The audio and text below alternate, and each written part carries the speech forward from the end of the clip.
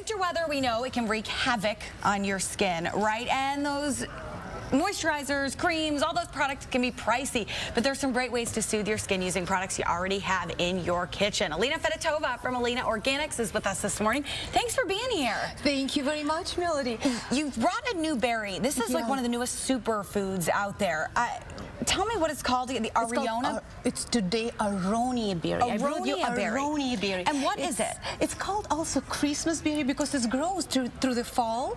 Okay. And you can actually uh, harvest it in the winter around the Christmas. And it has, it showed, research showed have a highest content of antioxidants, especially anthocyanin, powerful anti-aging ingredient. Okay. Um, uh, Aronia berry been demonstrating amazing results to be not only anti-aging uh, nutrient, but also anti-inflammatory. So how can we use it in the kitchen, in our own homes, to help our skin? You know, it's very interesting. It's not yet widely available, but you can easily order online. Okay. Tea from Aronia berry actually frozen berries and they're delicious. You see how dark are they? Right. Um, all purple fruits and vegetables are very, very powerful. Anti-aging and antioxidant content. Okay. So you can drink the tea. You can order the tea and drink it, try it. Okay. It's all really, right. And it's cold tea.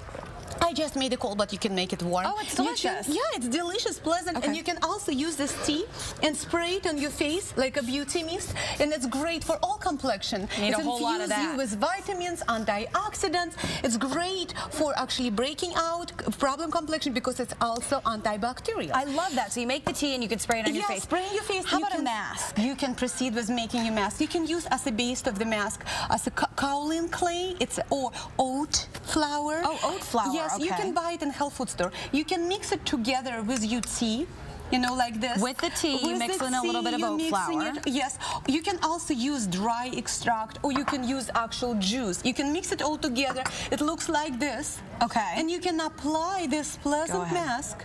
And it's not only refresh your skin, but it's also infuse it with all beauty vitamins, cocktail of phytonutrients, okay. antioxidant. After five, ten minutes, you can remove the mask. Okay. Also, you can use your tea also to help you to remove the mask. Yeah, got it. Yes, and you can proceed with your own moisturizer, oh, which okay. you made from Aronia berry too. And you can mix non-remedy coconut oil. We coconut oil. coconut oil is supposed fabulous. to be great for your skin and for, to eat even. Yes, okay. fabulous. And you mix equal proportion with vegetable glycerin because vegetable glycerin helps to seal moisture into your skin. Okay. And you put few drops of Aronia berry juice or extract or your tea. And you're mixing it all together. Okay. And look, it's even delicious. You can eat it and use it on your skin.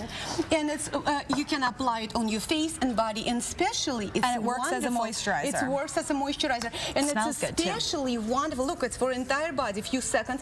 And it's especially wonderful for those people who are having health challenges uh, the, or the who pregnant okay. or who nursing. You don't want any unnecessary unknown chemicals in your body. Chemicals, exactly. And you're completely caring you for your entire face and body. And you can go and look at give you a little eh, even extra color in that dark, dark gray season. Yeah. You know, we need some eh, extra color. And, and, this season dries out your skin. Where yes. can people get more information about this? Aronia berry. Actually, I wrote the article. Aronia okay. berry been featured lately in Wall Street Journal, in Associated Press. It's got lots of publicity. Just okay. Google Aronia berry and you can find lots of information about it. And you can easily grow it in Midwest. You can actually oh, order oh, really? the uh, bush, stick it in your backyard. You don't need even to fertilize it. It's okay. such a hardy, wonderful. And in a few years, you will have your own berries. Pick it in the Christmas time. Enjoy. Put it I on. Love it. Go and glow. I love it. I don't have a yard, but I'm going to plant that bush in Corey and Darlene's yard, and then I'll just go over there and pick the berries. Thank you so much, Lena. Great stuff. I love it. All right, Corey, Dar, I hope you have room in your yard because I'm about to come plant a, a little aronia berry bush. I like it. It's a great idea. I love it. And it smells delicious. Got a good spot for it. Thanks, Mel. All right.